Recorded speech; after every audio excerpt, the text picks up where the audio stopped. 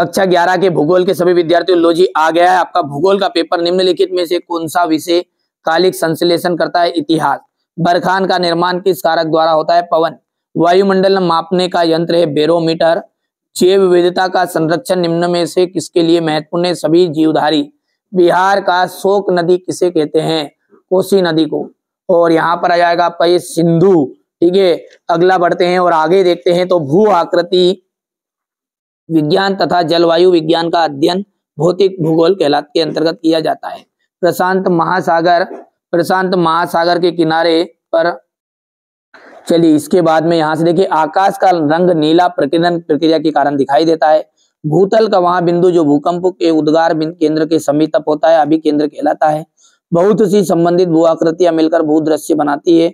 सबसे अधिक गर्त प्रशांत महासागर में मिलते हैं। ठीक है, संवहन धारा सिद्धांत का आर्थर होम्स जाएगा। पृथ्वी पर महासागरों की उत्पत्ति 400 करोड़ वर्ष पूर्व आ जाएगा। वृहत ज्वार इसका जाएगा पूर्णिमा पर तथा अमावस्या, गांधी सागर बाँध। ठीक है, ये चौथे का जाएगा चंबल नदी, गर्मी पर की लहर लू। ठीक है, यहाँ पर जाएगा उत्तर प्रदेश। सुनामी के आने का प्रमुख कारण बताइएगा। निक्षेपण अपर्दन का क्या परिणाम होता है? ठंडी जलधाराएँ महाद्वीपों में पूर्वी तट पर बहती है। मानव के आने से जीव विविधता में इतनी तेज़ी से कमी आने लगी थी। वन्य जीव, वन्य संरक्षण नीति उन्नीस का संशोधन किया गया। भूगोल विषय का महत्व आपको बताना है। भूगोल विज्ञान की जिज्ञासा को दृष्टि करता है। वर्णन कीजिए, निरपेक्ष आर्द्रता क्या होती है?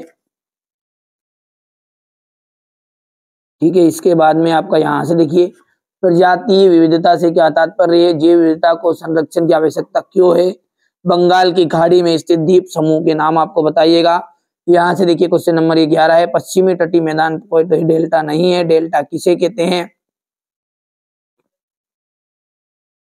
वर्तमान में आपदाओं को सुभेग्यता क्यों बढ़ गई है? तापमान के व्युतक्रम को समझाइए। महासागर की लवणता को प्रभावित करने वाले तीन कारक बताना है।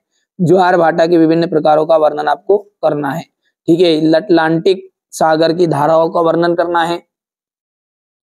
देखिए, आप तो बढ़िया से कंप्लीट करिए। आप तो अच्छे से तैयारी करना है आपको। जो प्रश्न मैं बता रहा हूँ, यही परीक्षा में आपको देखने को मिलेंगे।